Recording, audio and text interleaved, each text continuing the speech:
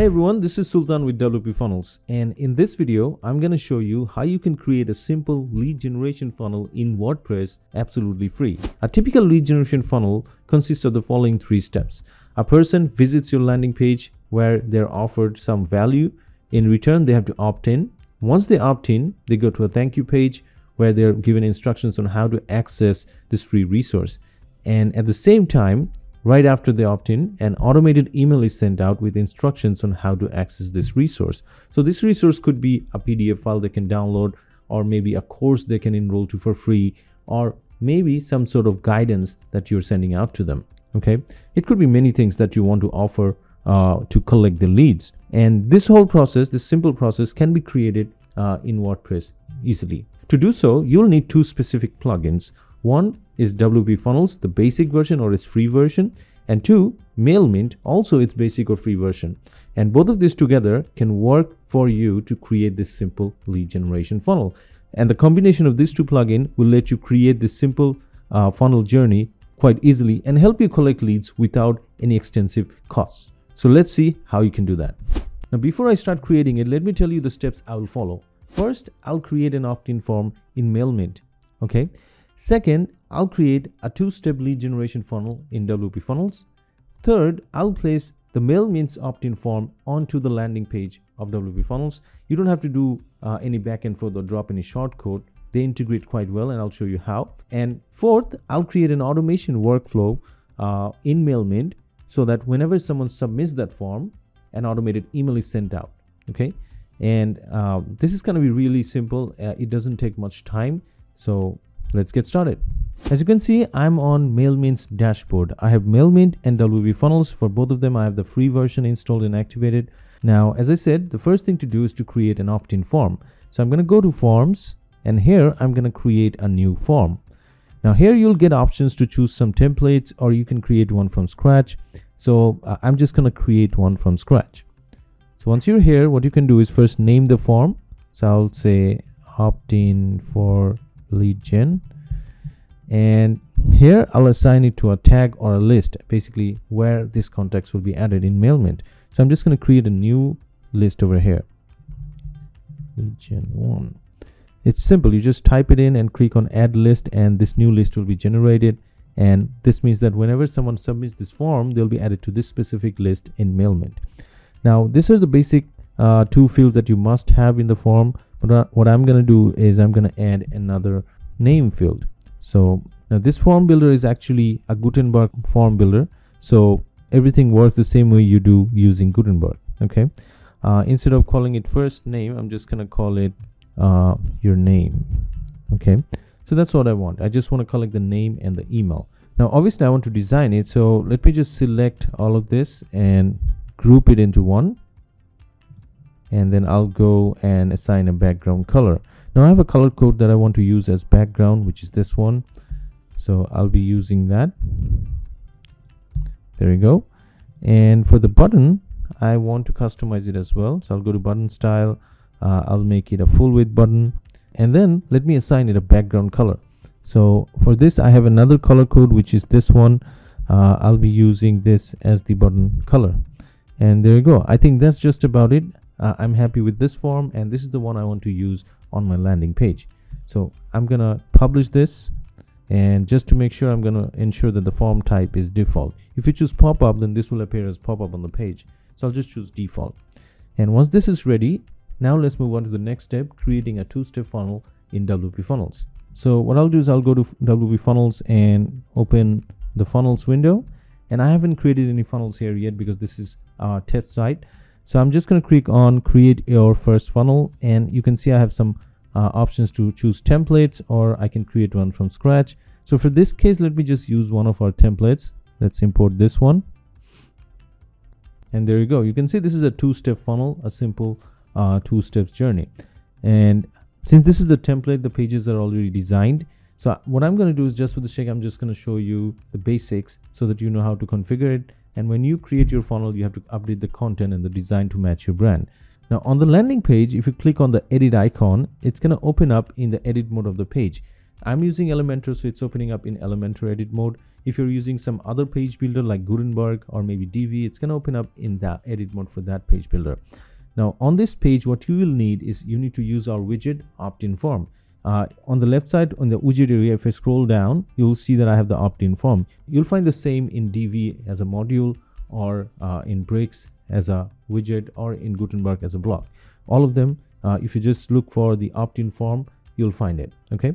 So this is the one that has to be used and on this template, this is already dropped. This is an opt-in form. If you see, this is an opt-in form and this is the one that you need to have on your page at least uh, to make this work. Now I'm not going to use this default opt-in form that the template has. I'm going to use the one that I have on MailMint. So to do that, once you uh, after dropping the opt-in form, if you click on the edit opt-in form option, uh, you will see there's this option called opt-in form source. So here, change it from WP Funnels to MailMint. And what this will do is this is gonna load uh, one of the forms that you create in MailMint. I've just created one, so this is the only one that is selected. If there were more, there will be more options there. Now, as you can see, this is the form I created a minute ago, and this has been loaded here. So now this form is placed on my landing page and people can opt in. And as per the settings I set in MailMint, whenever they opt in, they're going to be added to a specific list in MailMint and the data will be collected in MailMint, right? So once this is ready, I'm just going to click on publish. And if I go back to the canvas and preview this page, you can see I have my opt-in form placed on my landing page. Uh, obviously, you have to improve the content here to match what I'm offering.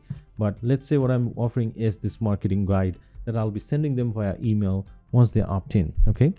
Now, after they opt in, what's going to happen? Are they just going to, you know, sit on this page? No, I'm going to take them to a thank you page. If I look at the thank you page, you can see that there is this page where uh, I have said that your guide is on the way to your inbox. And then you can see that there is some content here. Gift is for you. You can get a discount using this coupon if you buy it from my website. So you can add some other offers on this page you know to make it more convenient to your funnel. If you have some service to offer you can offer it here. If you have some other affiliate products you can mention them here on the thank you page. But make sure that you're letting them know that this is going to go to their inbox or to their email. So this journey is ready. Now let's move on to the last step which is creating the automation workflow for your form. Now let me go back to the mailmint window that i had open and let me go to the automations menu on the left side. And let me create a new automation. Here you can see that you have options to import some of the automation recipes. So these are basically predefined uh, steps or journey for the automation. But let me create one from scratch. So if i create one from scratch first let me name it. So lead gen email. And then i'll assign a starting point. So if i click on this i have many options here but on the free version uh, you'll only get the form submitted starting point, uh, or the trigger. So if I choose this one, this will let me choose for which form this uh, automation should be triggered. So let me select the one I created. And now I can define an automation journey for this leads, whoever has opted in.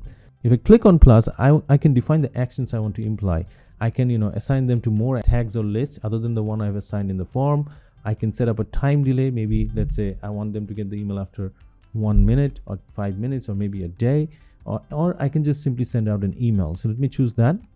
And here, what I can do is I can define the email prerequisites such as the sender email, reply email, uh, the subject line. So let me just rewrite the subject line.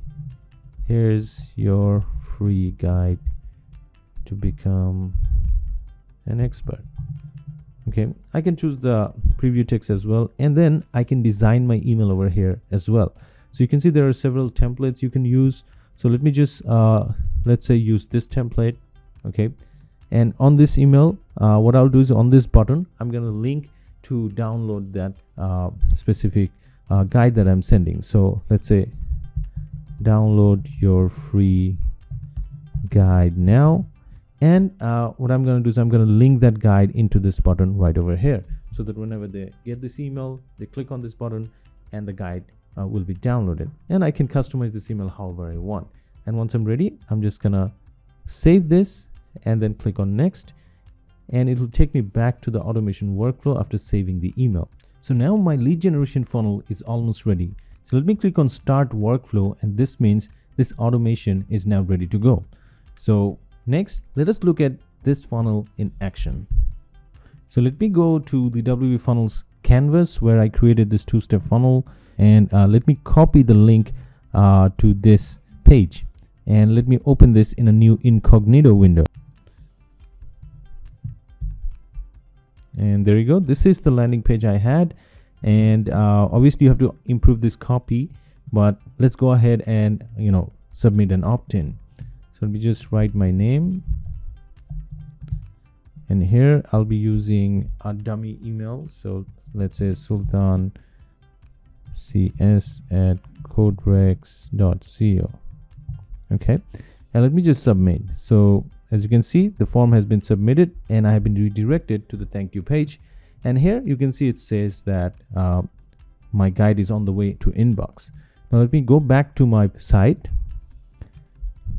Now let me go to mailmint's contacts and here you can see that i just submitted this form and my name has been added uh, and my email has been added and it has been added to the list lead gen 1 okay? Now if i go to automations you can see that there has been one automation trigger and i can look at the stats. It has been triggered once and the email is yet to be sent. It takes about 5 to 10 seconds for the email to be sent. Now i've waited 10 seconds. Let me just reload this and view the stats and there you go. You can see one email has been sent out.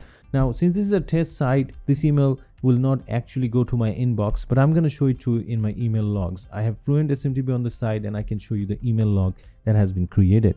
Let me go to settings and fluent smtp and let me go to email logs and you can see this is the email that was supposed to be sent. It says it's failed because i haven't allowed it to be sent out but this is the email. You can see the subject line here's your free guide. Uh, it has been sent just a few moments ago when i uh, you know opted in okay? So that's it. That's how easily you can create this simple lead generation funnel in wordpress absolutely free and all you will need is the free versions of wp funnels and mailmint to create it. So thanks for watching this video. I'll see you in one of my future videos. Take care